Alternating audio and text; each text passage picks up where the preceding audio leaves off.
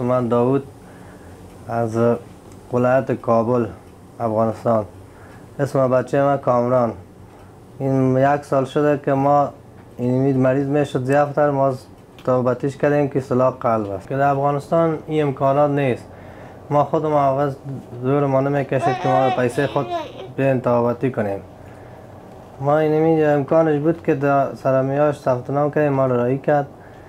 ما را از این رایی کرد در این شش ماهی در لیست بود باز نامش برآمد ما را راجع کرد این ما اینجا آمدیم یعنی توابتی 13 نفر هستیم.